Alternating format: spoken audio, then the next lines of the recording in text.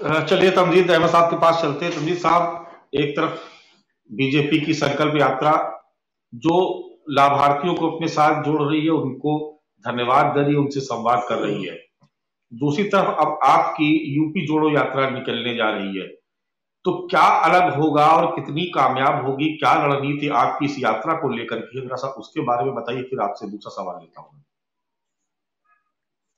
मानव जी, नमस्कार। देखिए ज़ाहिर सी बात है कि चुनाव कुछ महीने रह गए आने को तो एक संकल्प यात्रा यूपी जोड़ो यात्रा हम लोग निकाल रहे हैं बीस तारीख से सहारनपुर टू सीतापुर। और पैदल यात्रा ये निकलेगी और सारा नेतृत्व तो हम लोगों का, प्रदेश का अजय जी के नेतृत्व में यात्रा निकलेगी और उम्मीद पूरी उम्मीद है कि केंद्र के नेतृत्व भी इस यात्रा में शामिल होंगे। इस यात्रा के ज़रिए हम लोग ये संदेश जनता को देना चाह रहे हैं कि जिस तरीके से भारतीय जनता पार्टी जो वादे किए थे इन्होंने, पिछले दस सालों में जिस तरीके से जनता से इन्होंने वादे किए, और कोई एक वादा नहीं है जो भारतीय जनता पार्टी पूरी कर सकी। है उन वादों और इनका संकल्प पत्र हम लोग जाके जनता को बताएँगे, जनता को सुनाएँगे कि ये वादे किए थे और ये इन्होंने किया है आपके साथ। तो उन वादों वादा और वादा खिलाफी के खिलाफ, बेरोजगारी के खिलाफ, किसानों से धोखे के खिलाफ, महिलाओं से धोखे के खिलाफ, युवाओं से धोखे के खिलाफ।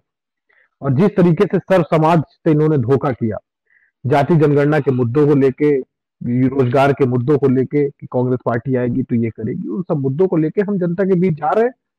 और ये सबसे प्रखर माध्यम है मानस जी, जिस तरीके से इन्होंने लोकतांत्रिक व्यवस्थाओं को, जिस तरीके से इन्होंने अपने कब्जे में कर लिया। तो इससे इससे बेहतर माध्यम नहीं हो सकता है कि हम लोग पैदल यात्रा निकालेंगे। और यात्रा का ये पहला चरण है। और भी बहुत सारे चरण आएँगे जिसके ज़रिए हम लोग पूरे यूपी के अंदर ये यात्रा करेंगे। और जनता के बीच ये संदेश देंगे कि कांग्रेस पार्टी मुख्य विपक्षी दल की भूमिका में उत्तर प्रदेश के अंदर भारतीय जनता पार्टी से लड़ाई लड़ेगी।